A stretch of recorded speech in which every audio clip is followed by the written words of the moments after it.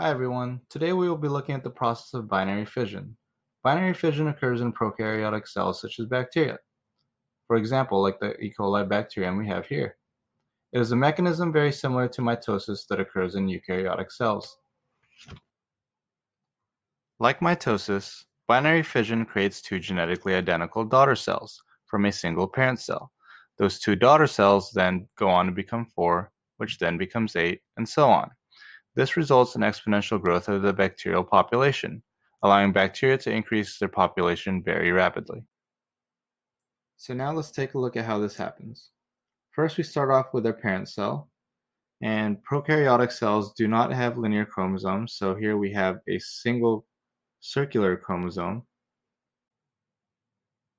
Now before any division takes place, the cell must first copy all of its genetic material, so that there is two copies of the entire genome.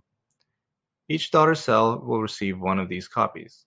After this happens, the chromosomes then tether themselves to the cell membrane.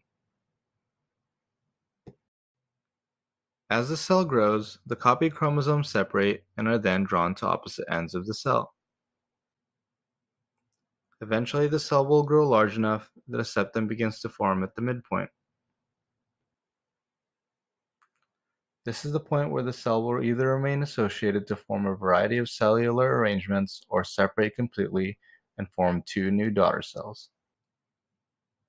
Now since they are both copies of the parent cell, these two daughter cells are genetically identical. And now the process of binary fission is now complete.